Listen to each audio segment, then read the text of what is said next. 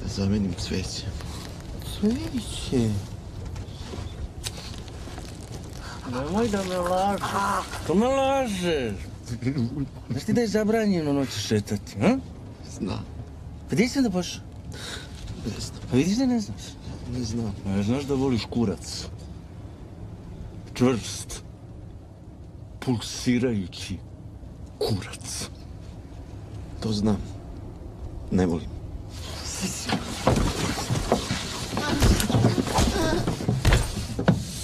Da odvedemo ovog našeg dečka u šumicu.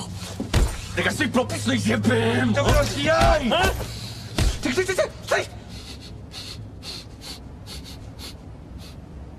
Što mi sve vreme miriše na pičkicu. A kako to da pičkica ne voli kurac, a? Molim vas. Pustite me da idem kući, bit ću dobar. Proći se, proći se. Mogu ja da ispričam jedan vic? Kad smo kod pičkica, da gađamo. Samo reći. Pazi ovako, pazi ovako. Idu dve pičke, pustinju. Suva i vlažna. I sad suva pita vlažnu, jel bi pička ti materno, bre, mi se ovdje pržimo, bre, ti ovo vlažala, samo misliš na... A vlažna kaže, pusti me, bre, u pičku, maternu ženu progutila samo onu Я пальску куглецу. Я вот.